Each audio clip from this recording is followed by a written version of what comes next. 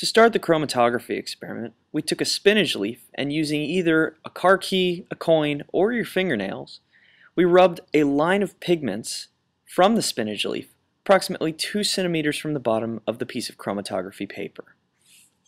We then place the chromatography paper into a test tube that contains chromatography solvent and allow it to incubate for a set period of time. During the incubation period, the chromatography solvent will diffuse up the chromatography paper.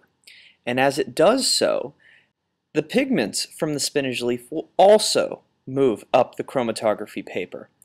However, their movement is dependent upon how soluble or insoluble they are in the chromatography solvent.